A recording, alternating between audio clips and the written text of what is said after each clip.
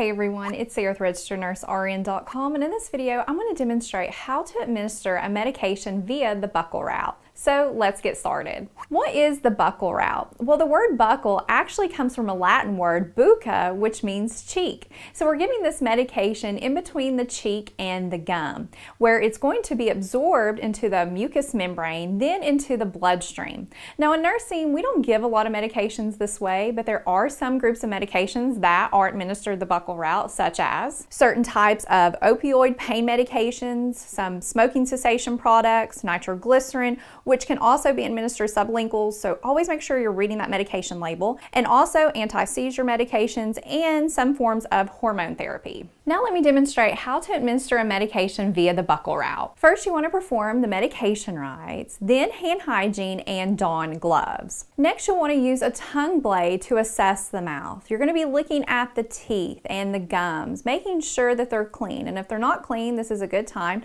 to provide mouth care. Then assess the mouth, especially the mucous membranes, for any breakdown or sores because you don't want to administer a medication on these areas. Now, once you've done your assessment, you're ready to administer the medication. And depending on what type of medication you're giving, always refer to the manufacturer's guidelines about where they want you to place the medication because some are specific. So here I'm going to use the tongue blade to help me assist opening the mouth and I'm going to place this tablet on the maxillary arch above the second molar.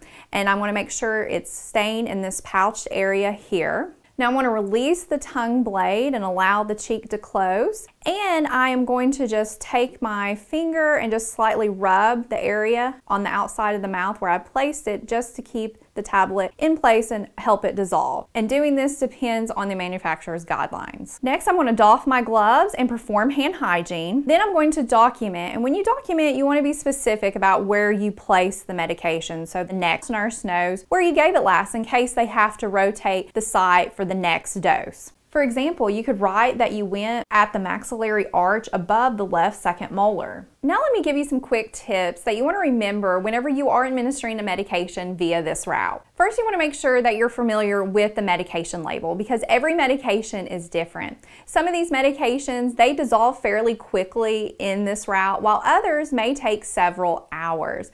So you want to make sure that you're reading that label so you can get familiar with how soon your patient can eat or drink once you have administered this medication.